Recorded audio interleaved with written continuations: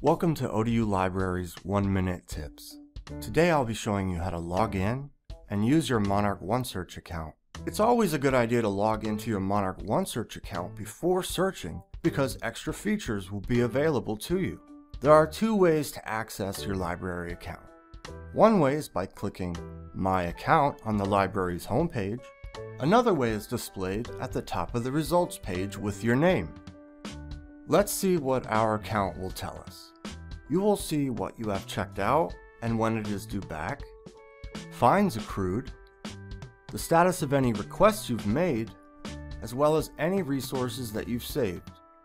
You can also renew items online when applicable. Logging into your account will also allow you to seamlessly access interlibrary loan when you discover resources not already provided by the libraries and you can even request books for the libraries to purchase when needed.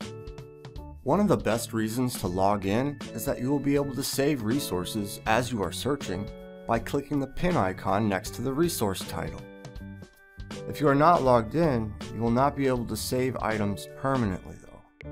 But when logged in, you can see all of your saved items by clicking on the pin at the top of the screen beside your name. You can also organize your resources into folders by course or topic, or in whatever manner works best for you. Thanks for watching, and join us next time for ODU Library's 1 Minute Tips.